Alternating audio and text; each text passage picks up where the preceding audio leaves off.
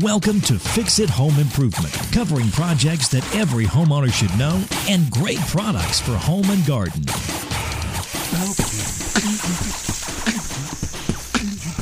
Hi, I'm JC, and this is where we share weekly home improvement tips. I'm here with my co host Cindy. Hello, JC. Hi, Cindy. Today we're going to be talking about lamp repair, and we'd like to thank Jared Stackhouse for liking and sharing the podcast. Archaeologists found shells that were filled with moss and animal fat, and they think that ancient man were igniting these to create a little lamp for a cave. And they're Ancient man? ancient and women, and they they believe they're dating this to like seventy thousand BC Wow. as the first lamps. The Greeks had clay lamps that they had wicks in around 600 BC, and Thomas Edison and Joseph Swan from England, mm-hmm. they invented the first incandescent table lamps in the 1870s, and Edison's table lamp was the first commercially sold electric lamp in 1879. Wow. If you're making repairs to table or floor lamps, there's a variety of light bulb sockets and switches. Are you going to explain so- what a socket is? So the socket is that cylindrical shaped thing that thing. Well, I mean, it's where the bulb goes. Right. So it's it's threaded and it can either be porcelain or metal or plastic. Right. And generally you're going to have your hot and your neutral wire going to this, although you can have a keyless socket, which is operated by another socket or operated by a switch, so it doesn't have Why any is it called keyless? because it doesn't have a, a key. So in the old days, they called it the turn knob. They would call it a key because it was shaped like a key with hmm. all these ornate designs on it. So they were pretty cool on the original lamps. so if a socket has a knob, it would be a keyed socket. But not only can you have an on off with a, a knob, but you can have a push through style. So it has a plastic rod that mm-hmm. slides through the base of the socket for on and off. And then sockets can also have a dimmer knob or a pull chain. And then you can have a socket that controls a three way bulb. Hmm. So it's going to have multiple positions. And then if you have a socket that controls an additional socket or sockets, you have a three terminal socket, which is different from a three way socket. Wow. And then this some just got complicated. and then some lamps can have cluster sockets, which are two or three sockets on one body. And then you can also get sockets with side mounts. So it's kind of important if you're repairing a lamp that you take take a look at your socket, so the part that the bulb screws into, or you just take it apart and bring it to the hardware store Right. with you. You also have different size sockets, and the three main sizes are a standard bulb size. So this is the base of the light bulb, and the, the main one was developed by Thomas Edison in 1909, and it's still the standard size. Mm-hmm. You have a medium base, which is smaller, and a candelabra base, which is even smaller. In these very old floor lamps, you can find these large sockets, and so they had a very large bulb with a big base, and they called it a mogul, M O G U L. In mm-hmm. Europe, they called it the Goliath. and some of these mogul lamps, you would have this large center light bulb and then three or four smaller bulbs attached to decorative arms. They usually had two switches. One would be controlling the main mogul bulb, and it was generally a three way bulb, and the other switch would control the side bulbs, giving you 16 different combinations of light output on some of these. Wow, that's kind of crazy. And these were popular in the 1920s and the 1930s. if you have a table lamp or a floor lamp that's not working, you generally just have to change that socket or replace the lamp cord Right, or, or there's both. not that many parts with a lamp. Right, and they're very easy to fix. And you can take some of these old antique lamps, like my mom. You know, she was an antique dealer for mm-hmm. years, and I would help her repair these old lamps that were just beautiful, but they were dangerous. and, and just by changing the socket and the cord, you could take this thing. Well, we've done quite a few videos on that. Right, right, right. Well, So- my grandma has one that was her mom's, and she had it from Italy. Yeah, So, I mean, interesting. I don't think they ever turn it on. It Yeah. just sits on the table, but right, but but you could take something like that, that that's so historic Right. and, and make it safe just by changing the socket and the cord. But the first step, if you're troubleshooting a lamp that's not working, is remove the bulb and confirm that it's the bulb. So take that bulb, put it into another lamp, and make mm-hmm. sure the bulb's working. And some of these inexpensive lamps, or if you get some of these import light bulbs, the nipple on the bottom of the bulb, if, if it's not touching that metal contact inside the base of the socket, Right. the bulb's not going to go on. Hmm. And that metal contact in most lamps is just a thin piece of metal. It's attached on one side and it flexes, and there's a little bit of space on the bottom. And as you screw the bulb in, it makes contact and flexes. But over time, or if you have light bulbs with a very large nipple on the bottom, you can flatten out that contact. And then when you remove it and screw in a different bulb, it's just not making contact. And, Oh. and you think it's broke, Right. but it's not. So what you can do first is if you've got a bulb that works, you screw it in, it isn't working. The first test you'd want to do is unplug the lamp, make sure there's no electric on. Take a small slotted screwdriver, get it underneath that contact if it's one that moves. You're going to get underneath it and pry it up and then screw your bulb in and then you'll know plug it back in, turn it on. You'll know whether it was just the contact that was the problem. That's easy enough. If that doesn't solve the problem, it's usually the switch on the socket. And your socket can either be brass, nickel plated, plastic, or porcelain, and the most popular is brass.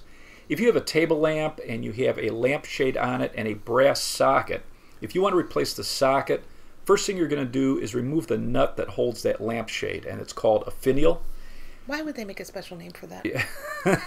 You're going to remove your shade, and there's a metal piece. It's called a lamp harp that mm-hmm. supports the shade, and it's held in place with these sleeves that have to be lifted up. Squeeze the harp and lift it out. Make sure you unplug your lamp, remove the light bulb, and the socket comes apart. You have an upper part of the shell and a bottom part that they call the cap.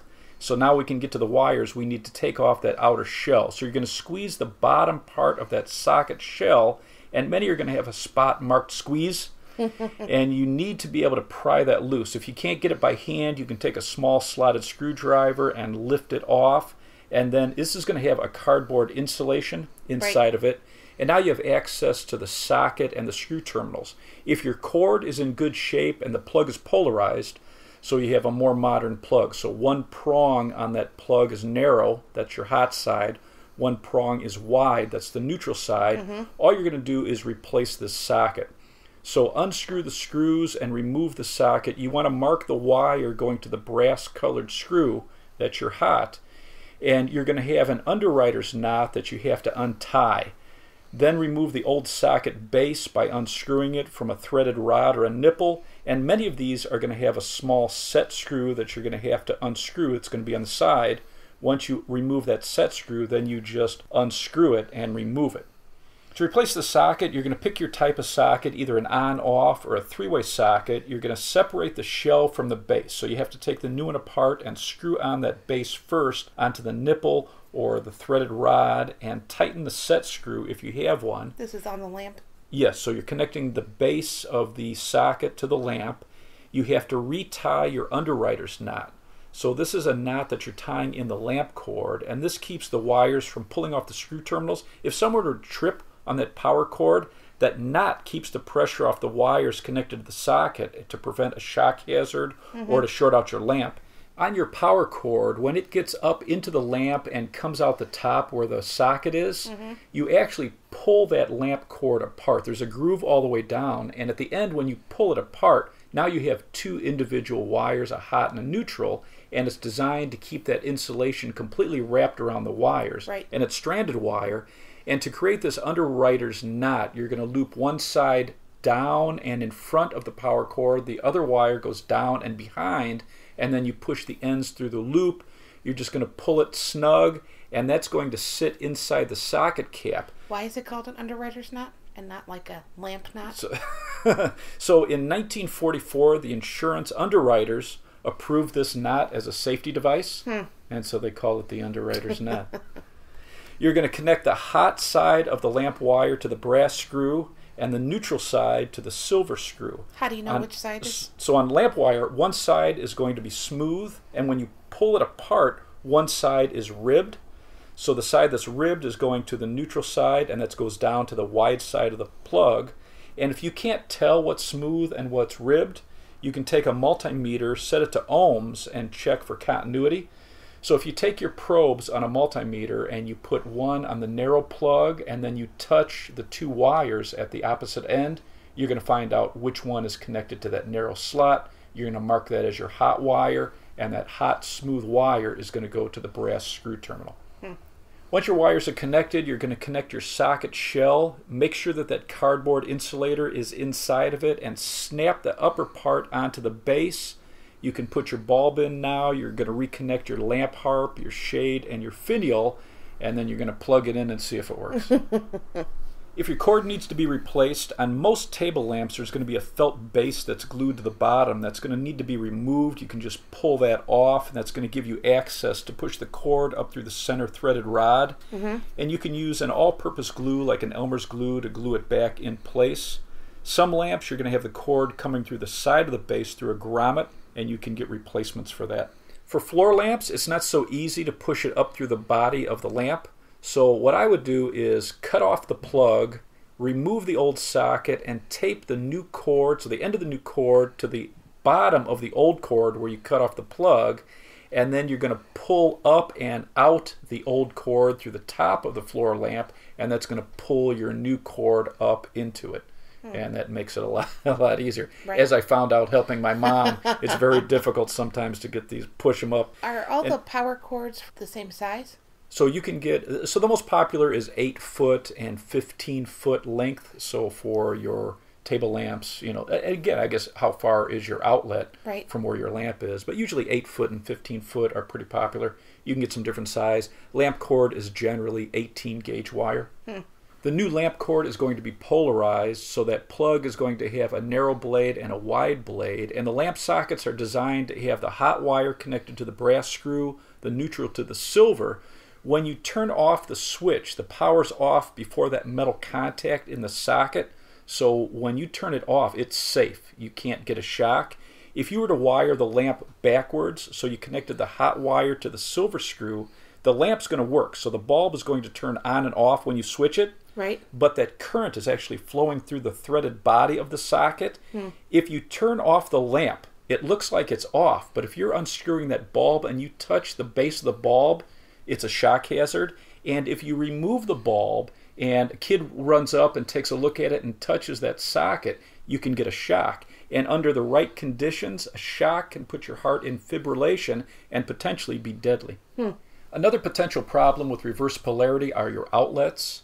If you've moved into an existing home that had a previous owner, and let's say they've made some changes to the outlets and they wire the outlet incorrectly, so they put the hot wire on the silver screw, the neutral wire on the brass screw, Wrong. you plug your lamp into this, even though your lamp is correctly wired, when you turn off the bulb, so it's going to turn on and off just like it's working properly. But when you remove that, if your outlet has reverse polarity, now the socket is live and a potential shock hazard. Okay, so how do you know if your Well, outlets are wired correctly? If you move into an existing home, I think one of the best testers that every homeowner should buy are one of these outlet testers. You plug it into the outlets, and it's going to tell you whether it's polarized properly. It's going to tell you whether it's grounded, so both of hmm. those for safety.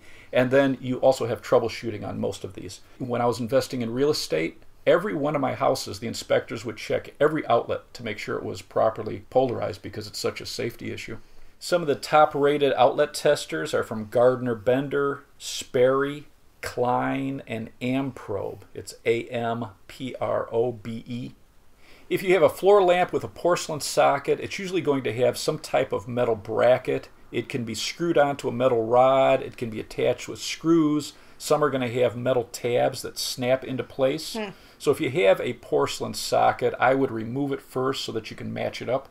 Lamps with the plastic sockets, they're going to have an upper body that's going to unscrew from the base, or you can have a nut that holds a lampshade in place. Once you remove that nut, then that top part has an outside thread. It also is threaded inside, and you have to unscrew that to get to the base and to the socket inside so that you can remove the wires. Fancy.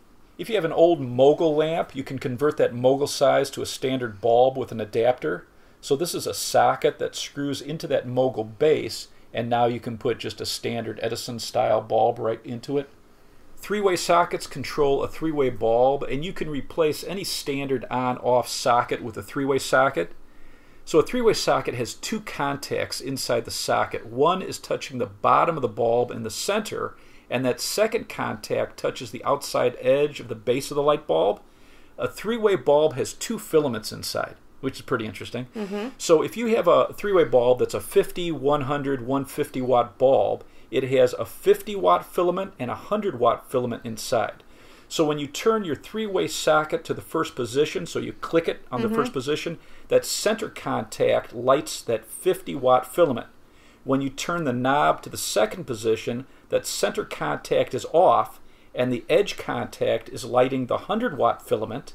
When you turn the knob to the third position, both contacts are turned on and you get 150 watts. No way. In 1933, Westinghouse came out with the first three way bulb, hmm. and lighting books from the 1920s suggest using a single 40 watt bulb for the living room and 20 watt bulbs for hallways. Wow. You would hate that. Terrible. So what's wild is the old homes, if you're using kerosene lamps, I was mm-hmm. looking up the lumens coming off of a kerosene lamp. Mm-hmm. So the average house, if you're using just these kerosene lamps to read by, a flat wick kerosene lamp will give off 40 to 100 lumens, That's not a lot. which is not much. So a 40 watt bulb is giving off four times the amount of light Wow. that you're used to from these kerosene lamps. Outrageous. Amazing how dark old homes must have been. If you have a lamp with a night light or you have an additional keyless socket and they're both operated by the main socket, so you have one turn knob, you have a three terminal socket, which is different than a three way socket. So with a three terminal socket, there's only one contact inside the main socket, Okay. but you've got this additional screw. You'll have a brass screw, a black screw, and a silver screw on the socket. The hot wire from your lamp cord, that's going to your brass terminal. The neutral wire from your lamp cord is going to the silver screw terminal. Mm-hmm. And then you're going to have two wires going to the other socket. The hot wire from that other socket is going to that black screw terminal. And then the neutral wire is going to be attached also to the silver screw terminal. Fancy. Yeah, it's it's very unique, and you need to make sure that you order one of these. Most hardware stores aren't going to have it in their normal stock. Are they And- going to call you crazy? Yeah, and, and most people are going to be very confused. Most retailers really don't see this very mm-hmm. often. It's it's a, a lot of the older lamps will have this. So, you know, make sure that when you identify that you've got a lamp with two sockets that are operated by the one main socket, you have one knob, you have a three terminal socket, and they're probably going to have to special order it for you, or you're going to have to go online. You drew a nice picture of a lamp, too. Thank you.